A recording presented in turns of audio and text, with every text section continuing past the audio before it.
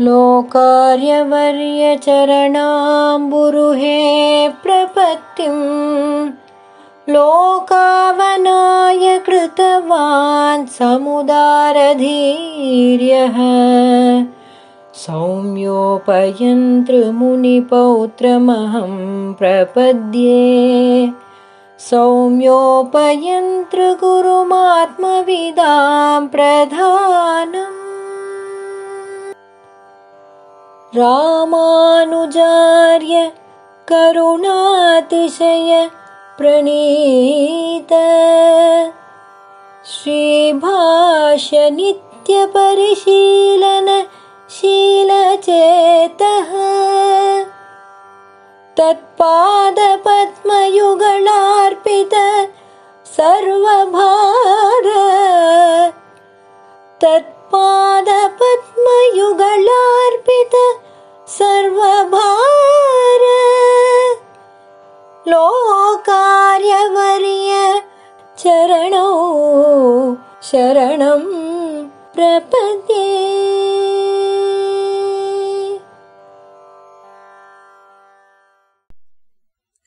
ஸ்ரீமதே ராமானுஜாய நமஹ ஸ்ரீமத் வரவர முனையே நமஹ ஸ்ரீமதே அபிராம வராச்சாரிய தேசிகாய நமஹ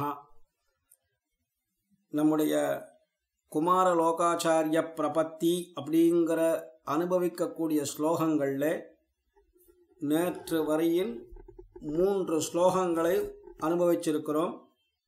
இன்று நாலாவது ஸ்லோகத்துக்கு அனுகுணமாக உள்ள விஷயங்களை வியாக்கியான ரூபேண அனுபவிக்க இருக்கிறோம். இதுவும் ஒரு ஆச்சரியமான ஒரு ஸ்லோகமாக அமைஞ்சிருக்கு. அபிராம வராச்சாரியர்னு சொல்லக்கூடிய அப்பேறுபட்ட மணவாள மாமனிகளுடைய பூர்வாசிரமத்து பேரனார் ரொம்பவே ஆச்சரியமாக சாதிச்சிருக்கிறார். ஜிஆர் நாயனார் அப்படிங்கிற திருநாமம்.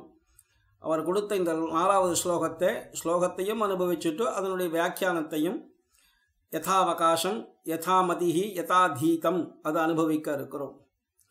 ராமானுஜாரிய கருணாதிசய பிரணீத ஸ்ரீபாஷ்ய நித்ய பரிசீலனசீலச்சேதா தத்பாதபத்மயுகளார்ப்பித சர்வபாராः லோகாரியவர்ய சரணௌ சரணம் பிரபத்யே. சொல்லும்போதே தேன் சுட்டும்படியாக இருக்கு. ரொம்ப ஆச்சரியமான விஷயமா இருக்குங்களா. ராமானுஜாரிய கருண அதிசய பிரணீத ஸ்ரீபாஷ்ய நித்ய பரிசீலன சீலச்சேதகா அப்படின்னு சொல்லும் பொழுது அந்த ராமானுஜர் சாதித்த ஸ்ரீபாஷ்யம் ஒன்பதனாயிரம் கிரந்தங்களை உடையது. அந்த ஒன்பதனாயிரம் கிரந்தங்களுடைய சமானமாகத்தான் திருவாய்மொழிக்கு ஒன்பதனாயிரப்படி அப்படிங்கிற விஷயத்தை நஞ்சியர் சாதிச்சார்.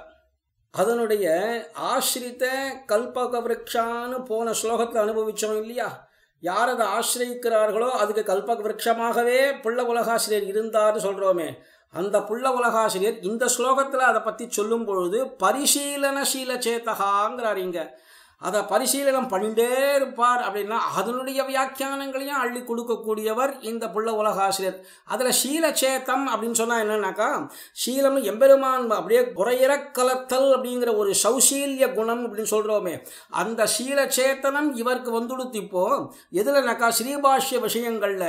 அதனாலே ராமானுஜருடைய திருவடிகளையே பற்றி கொண்டவர் அப்படிங்கிறது தெரியறது. எப்படின்னு கேட்டால் பிரவணம் யதீந்திரபம் முதல் ஸ்லோகத்திலே சொன்னார் இல்லையா? ஸ்ரீமன்னு யதீந்திர சரண பிரபணாந்தரங்கான்னு சொல்லும்பொழுது அதில் பிராவண்யம் உடையவராக இருப்பதாக சொன்னோமே. அதுபோல் இந்த இடத்துல ராமானுஜாரிய கருண அதிசய. அந்த காருண்யம் இவருக்கு வந்துடுத்து இப்போ. அதனால காருண்யாதிசய பிரணீதா. அந்த காருண்யாதிசயம் இருக்கிறதுனாலே எதை கொண்டு பிரணீத? பிரணீதன்னா அப்போ நம் நமஸ்காராதிகள்னு சொல்கிற அர்த்தம் இந்த இடத்துல. பிரணீதி. கீழே விழுந்து அதாவது தத்வித்தி பிரணிபாத்தேன பரிப்பிரஷ்னேன சேவையான் கீதையில் பகவான் சொல்கிற பிரகாரம் இப்பேற்பட்ட பிரணீதா. அப்போ அப்போ அவருடைய திருவடிகளை நேராக ஆசிரியிச்சு அவர் ஏன்னா மணவாள மாமனிகள் கூட பிள்ளை உலகாசிரியருக்கு பிற்காலத்தில் வந்தவர். இவர் சாட்சாத் ராமானுஜரை திருவடியை பற்றி கொள்ளுகிறார்னா நம்மாழ்வார் திருவடியை பற்றி கொள்ளுகிறார். நம்மாழ்வார் திருவடியை பற்றி கொள்ளுகிறார்னா எம்பெருமானுடைய திருவடியை பற்றி கொள்ளுகிறார் எம்பெருமானுடையவே திரு திருவடிகளாக நம்மாழ்வார்.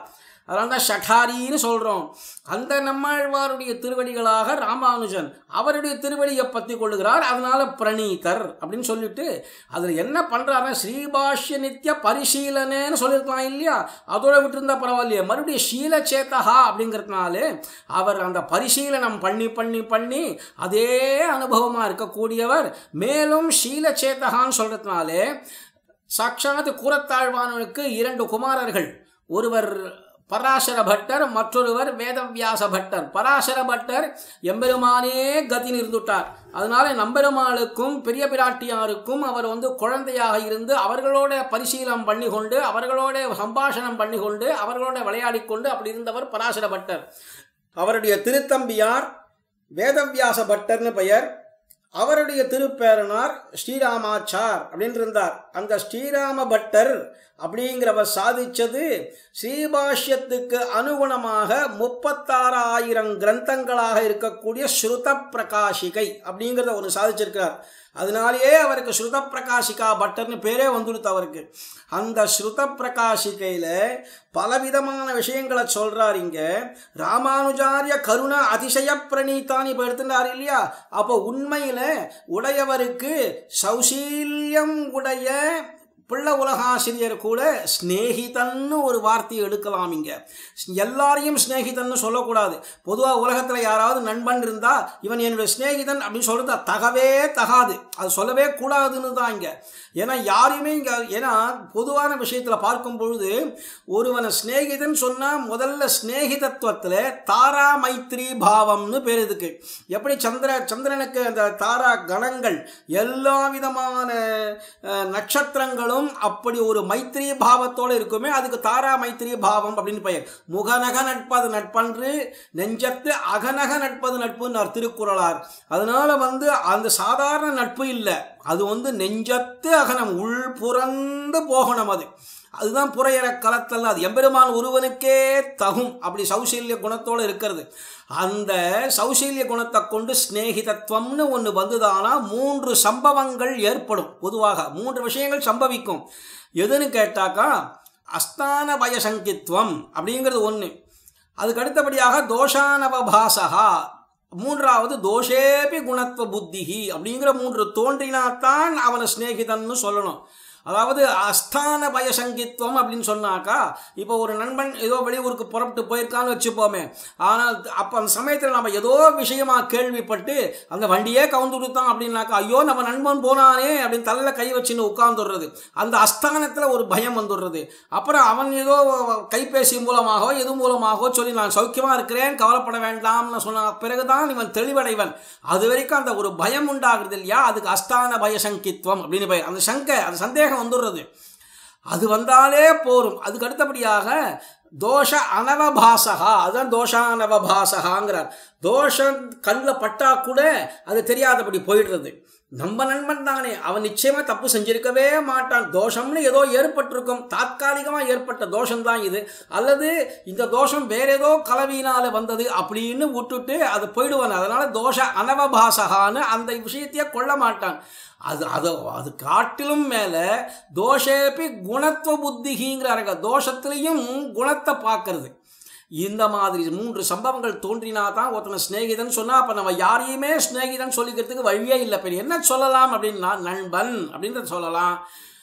அவன் மித்ரன்னு சொல்லலாம். இந்த மாதிரி வார்த்தைகளை உபயோகப்படுத்தலாமே தவிர வாஸ்தவத்தில் ஸ்நேகிதன்கிற சொல்லக்கூடாதுங்கிற ஒரு ஸ்நேக விஷயத்தை உடையவர் எப்படி தன் சீவாஷத்தில் காட்டினாரோ அதை விஸ்தாரமாக ஸ்ருத பிரகாசிகையில் காட்டிவிட்டார். ஸ்ருத பிரகாசிகா பட்டர்.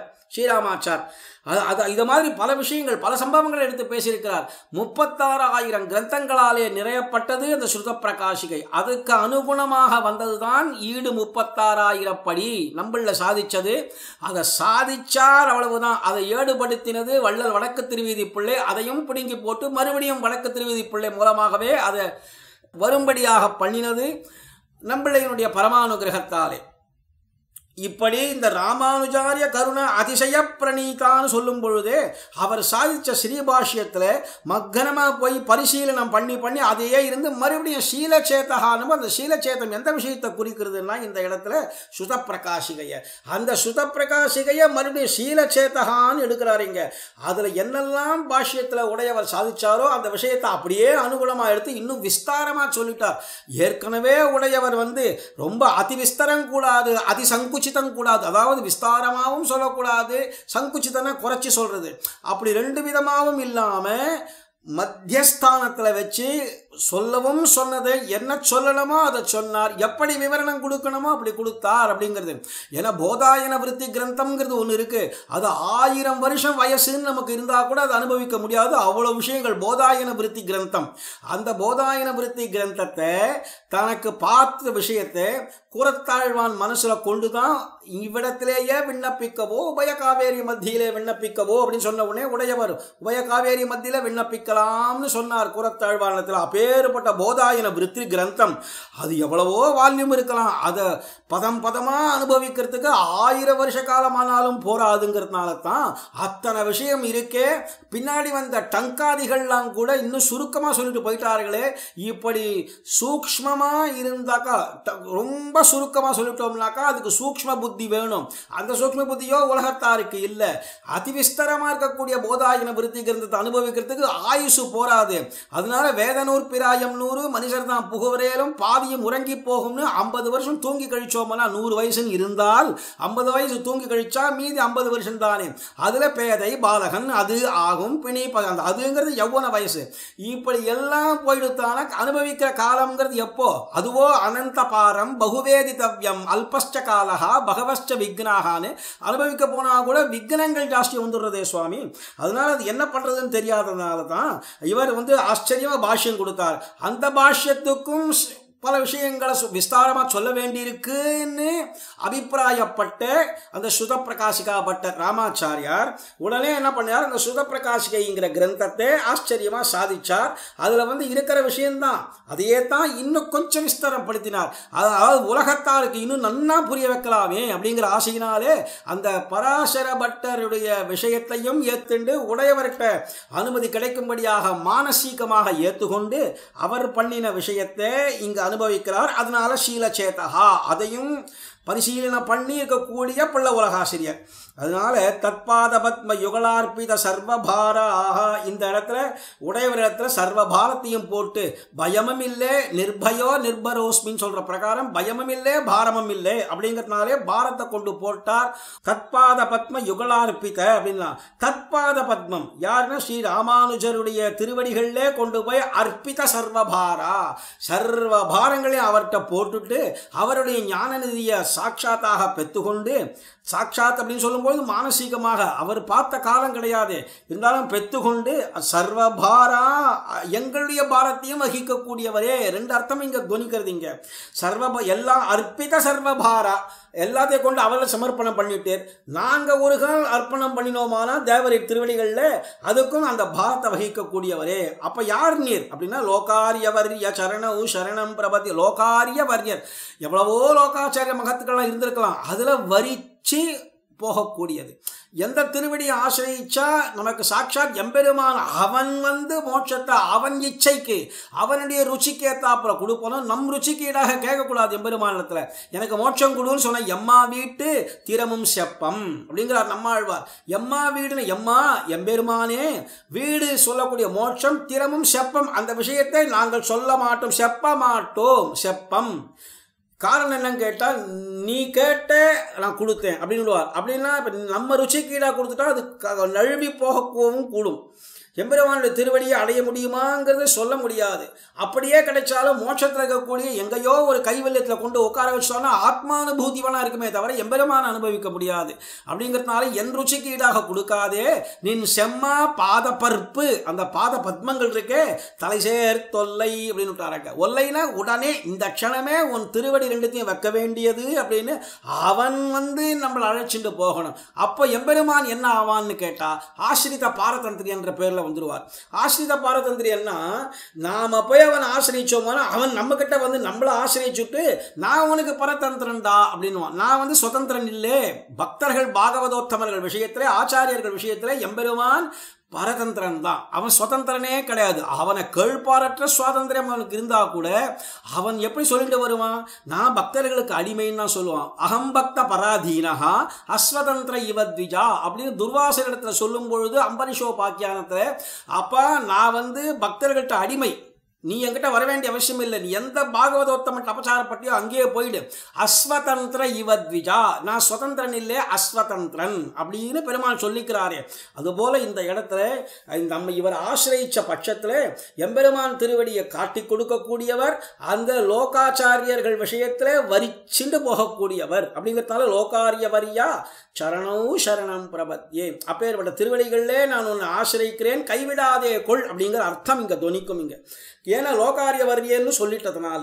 லோகாரிய வரியா உன்னை வரிச்சு வந்திருக்கிறேங்கிறதுனாலே உன் திருவடி தாமரைகளை பற்றி கொண்டேன் தஞ்சம் புகுந்தேன் என்று சொல்லும்படியாக ஆச்சரியமாக சாதிச்சார் நாளைக்கு மேலும் மற்றொரு ஸ்லோகம் ஐந்தாவது ஸ்லோகத்தை அனுபவிப்போம் வார் என்பதாக சொல்லி இன்றைய இந்த வியாக்கியானத்தை பூர்த்தி பண்ணி அமைகிறேன். ஆழ்வார் எம்பெருமானார் ஜீய திருவடிகளே சரணம். ஜீயர் நாயனார் திருவடிகளே சரணம்.